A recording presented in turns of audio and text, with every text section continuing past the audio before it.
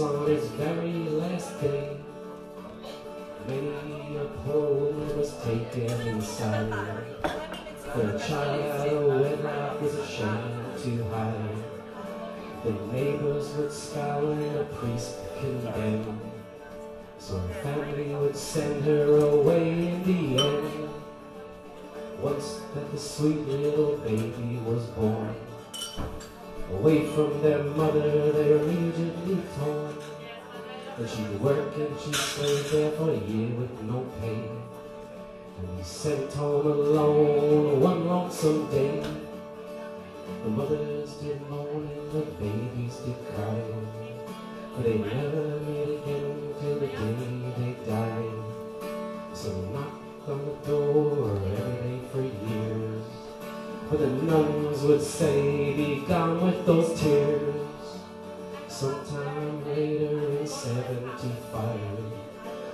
Boys jump the wall in the orchard to hide.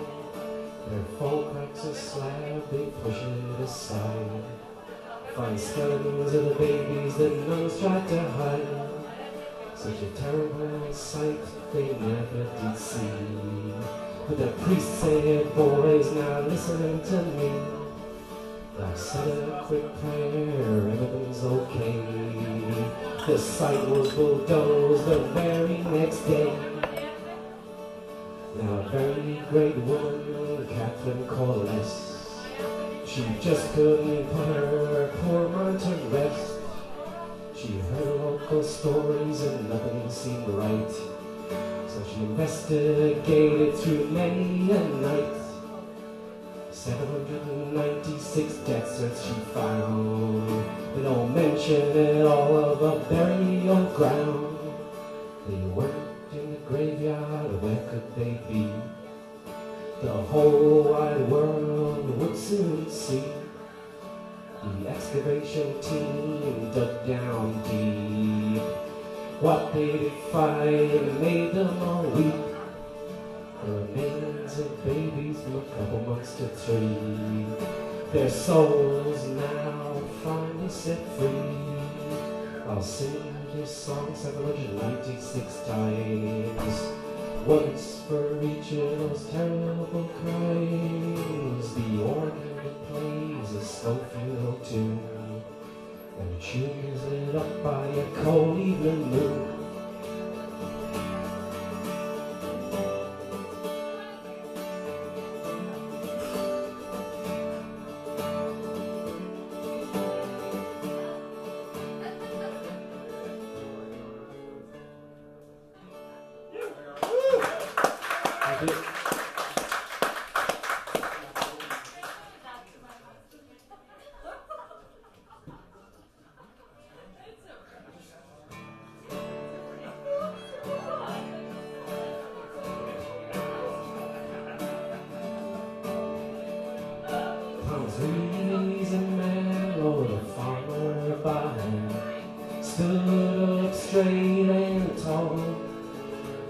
They tried to take his home, or they tried to seize his land, but he couldn't be bought at all.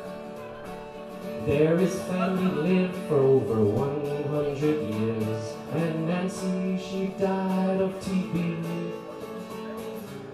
They said it was all for the greater good, but their greed it is mighty plain to see. They do all they can to call it the progress of man, but a computer hasn't got a soul. Not like someone who works the soil with their blood, sweat, and toil under but nature's control.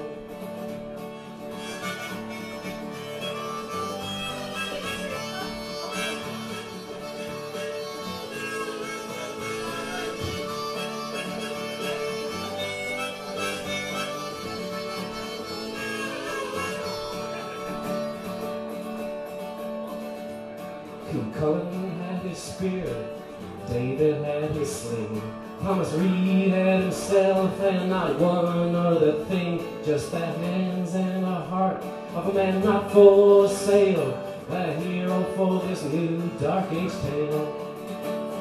Thomas Reid, he's a man, Lord, a farmer by him. Stood up straight and tall. Tried to take his home, oh, they try to seize his land, but he couldn't be bought at all.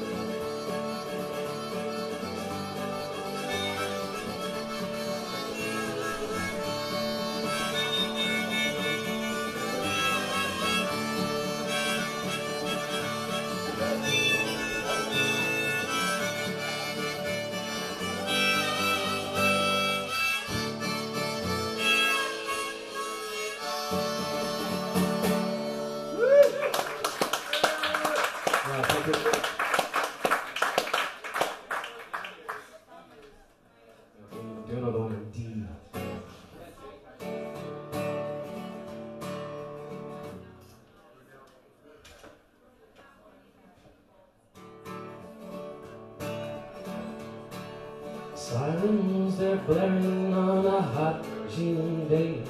They never really leave from around this way. Painted a setting in Terence's room.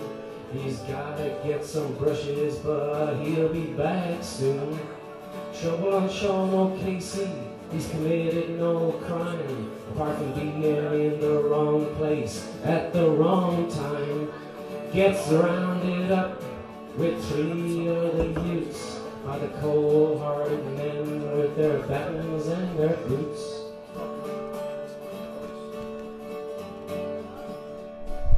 They broke his arm only a few weeks ago. Now they're cuffing him from behind as the crowd starts to grow. Brother Larry is standing there watching the scene unfold. A heavy thud inside the van leaves him feeling cold. He'll be the only one who doesn't get out. He lets out with a roar. But how could he have known the tragedy in store? The mother is distraught, so he stays behind to try to give her some peace of mind. Now sister in, Larry's laying on his bed. The guard here at the front door, and this is what they said. Terence tried to hang himself in a cell using the light, and right away he just knew that something isn't right. Made amends with his baby mom, they don't want to fight. Got new clothes for a 40th the following night. Things are looking up, got his safe pass too. There's a whole lot of living left for him to do.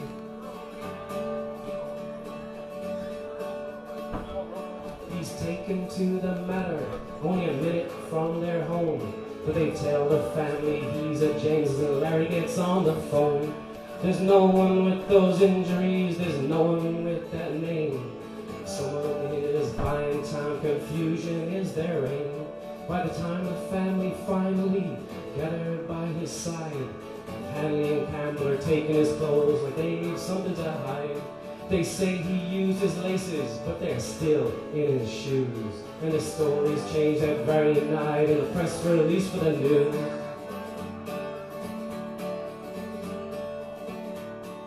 Photos at the hospital, they show the story true. There's bruises on his back and legs, his hands are swollen blue. The cleaners called right away to surgically wipe the cell. So forensically what really happened, no one will be able to tell. The family are praying, Terence starts to fight. For three months he rages against the dying of the light. Summer catches fire, you can feel it in the air. A brother and son's been taken, a community's in despair.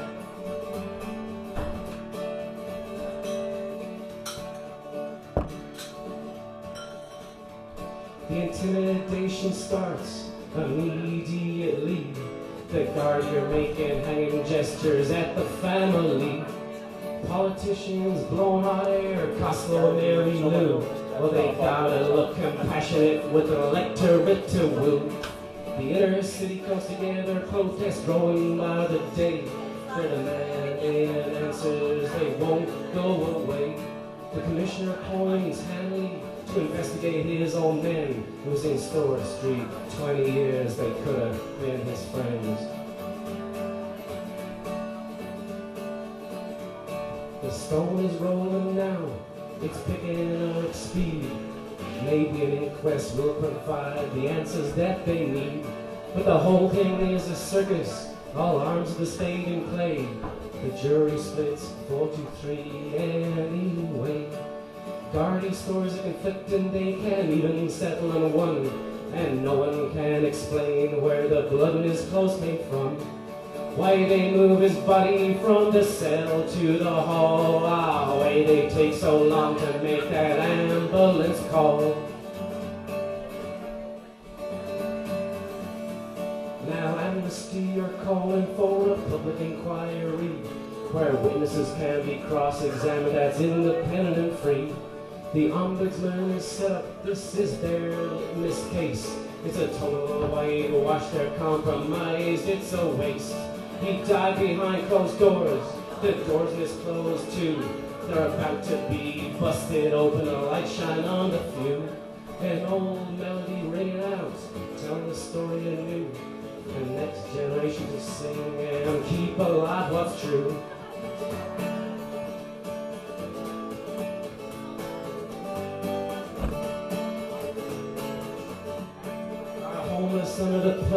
Of the courts and the GPO. Will justice ever be served? I don't really know. The family are laying flowers three times a year. A sergeant pulls them down each time to keep his conscience clear. When they kiss their kids on the forehead and leave on little light to make them feel safe through the middle of the night. When they walk back downstairs to gently caress their wife, they'll forever remember taking Terence's life.